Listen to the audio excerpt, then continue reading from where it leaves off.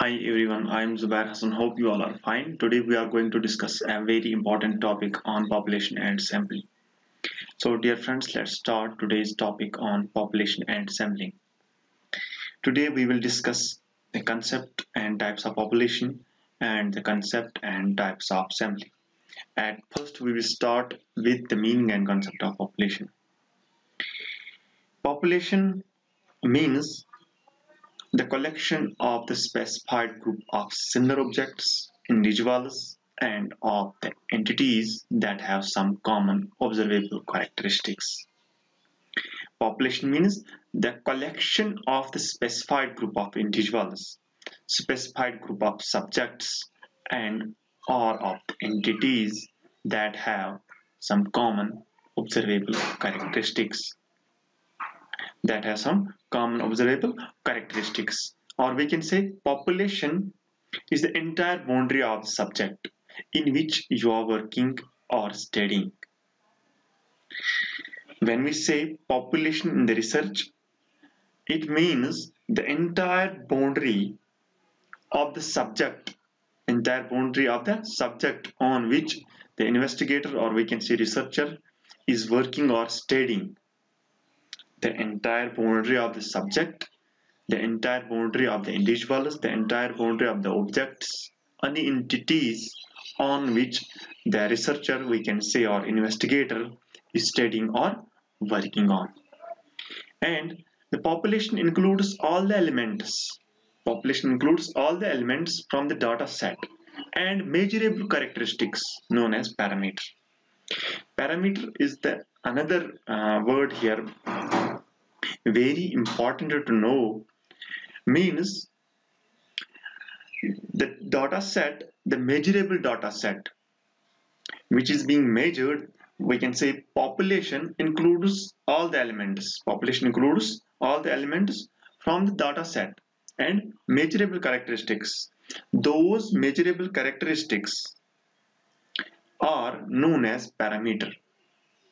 Those measurable characteristics are known as parameter. Parameter is the thing which measures the data set in population. And mm, next one, it's types, types of population. There are four types of population. Population have four types. First, finite population, infinite population, existent population and hypothetical population. Finite population means countable data, countable population. Finite population means which is countable, which can be counted and it can be of individuals, it can be of objects, it can be of anything which is countable which can be counted. For example uh, like um, employees in a company or students in a school. Employees in a company we can say uh, a manager knows how many employees are working in their company and a principal or headmaster he has a fullest knowledge of his students how many students are uh, studying in his school or fact we can say faculty in a school or we can say faculty in a school. This is called finite population which can be measured which can be measured and which can be uh, of countable which can be of countable which researcher can have uh, a count by his uh, measures. And second one is infinite population. Infinite population means that population which is uncountable that population which is uncountable. Uh, the population which is uncountable can be of uh, also things and objects which is not possible to count which is not possible to count when an investigator uh, works on the population or faces the population which is not uh, countable we can say for example a number of cells in human body a number of cells in human body if we talk about the cells of the human body if we talk about the cells of the human body there are all the thousands of cells in the human body but it is very difficult to count how many cells are in the human body. But uh, when any investigator wants to work on the cells of the human body to know uh, something about it but we can say this is the population cells of the human body is the population. But what type of population this can we say? This is the finite population which cannot be uh, counted by the researcher which is uh, impossible to be counted. And another is existent population. Existent population means population in concrete things we can say population in the units which are available in units that population which are available in units. For example mm, we can say population of books. Population of for example books we can say students. Students of arts if we talk about a student any researcher wants to conduct a study on the students on secondary school students we can say. How uh, there is an existent population when you talk about this type of population then existent population here means mm, all the secondary school students are available in uh, for example some students uh, falling in the unit of arts in the unit of science in the unit of social science this is the population available in units. When there is the population available in units, we can say this is existent population. Or books, we can say books in English, books in uh, Urdu, books in uh, Kashmiri or any subject we can say. Uh, when there are books available in uh, uh, uh, we can say literature separated literatures english urdu this is called the existent population. This is called existent population. Existent population of books existent population of students. And last one hypothetical population. Hypothetical population is the another type of population which uh, we can say when there is uh, not available any unit of population any unit of population or we can say uh, there is not no availability of uh, any solid form of population. Uh, we can say uh, this type of population is called a hypothetical population. In hypothetical population we can say uh, the example like uh, tossing of a coin. Tossing of a coin or rolling of the dice. Rolling of the dice when um, Hmm. we are rolling a dice we can not say whether it will be one whether uh, it will be two whether it will be three four or five. This is the dice this is the dice of huh, six in shape six but we cannot say whether it will be three four five or six or one or two. There an only hypothesis or guess can work. And tossing a coin we cannot say whether it will be tail or whether it will be head. There is the only possibility of the guess. So uh, this was the example of hypothetical population. I hope uh, you got understanding of these four things. Finite population infinite population existent population and hypothetical population. Existent population and hypothetical population you can make it differentiate by when there is the availability of unit tests or we can say that when there is the population available in solid form this is called existent population. When there is non-availability of the population in uh, solid form when there is the population not available in solid form we can say this hypothetical population.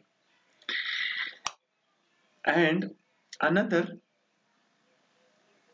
uh, which we are going to discuss to, mm, uh, today sampling. At first this was population and now sampling. Different in sampling there are two things which are very important and necessary to know like sample and sampling. These are the two concepts. Uh, at first we will discuss sampling. What does mean? Sampling means a part of the population selected according to some rule or plan for driving conclusion regarding population characteristics. Sample means a part of population selected according to some rule or plan.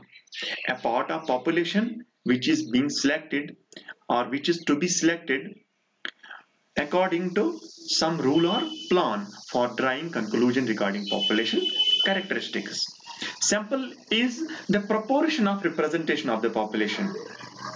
As we can say sample is the proportion. Proportion means percentage of the representation of the population. Percentage of the representation of the population. At first population means entire which includes entire everything. For example uh, we can say uh, students or secondary school students. It includes secondary school students of any state secondary school students of any uh, district secondary school students of any country.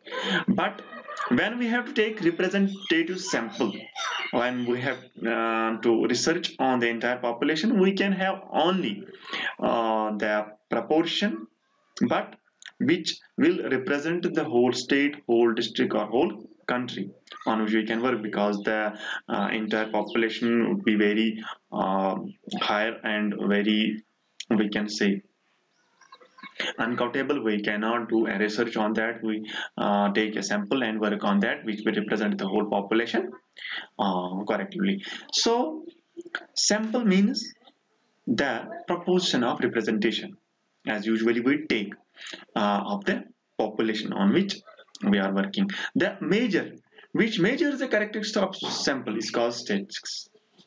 The measure or we can say the measure which measures the characteristics of the sample is called statistics. Is called statistics. Or before uh, you may be you may remember uh, the thing uh, the measure which measures the characteristics of population is known as parameter. And here same the measure which measures the characteristics of the sample is called statistics. Is called statistics. The characteristics of the sample which can be measured by something is called statistics. Statistics is the measure. Statistics is the measure of sampling we can say. And parameter is the measure of population. And next one sampling this was the concept of sample. This was the concept of sample. And next one is the sampling. Sampling means the process of selecting the sampling. The process of selecting the sample. First one was sample. What was sample? The proportion of the representation of the population on which we are going to work on which uh, uh, we can say on which uh, we are stating this was sample and sampling means the process of selecting the sample. The process of selecting the sample proportion from the population. Sampling can be done through various uh, methods like uh, we have types uh, probability and non-probability sampling there are two usually types of sampling probability and non-probability sampling you may know. Probability means that method uh, we can say the procedure which is done not on the discretion of the researcher which is done only on the methods which is done only on the randomizations which is done through the methods not the discretion of the researcher probability mean probability sampling means the procedure which is done not on the discretion of the researcher not on the discretion means judgment of the researcher. And non-probability sampling another method means uh, non-probability sampling means uh, the method the procedure which is done based on the discretion of the researcher which is done based on the discretion of the researcher judgment of the researcher. Probability and normal probability, these are the two procedures of taking sample. So probability have its own types. Simple random uh, sampling systematic random sampling uh, cluster random sampling we can say multi-stage sampling we can discuss in uh, next lecture and non-probability sampling quota sampling snowball sampling and chunk sampling it will be discussed in another lecture. So hope you got proper understanding of uh, the population and uh, sampling. So thank you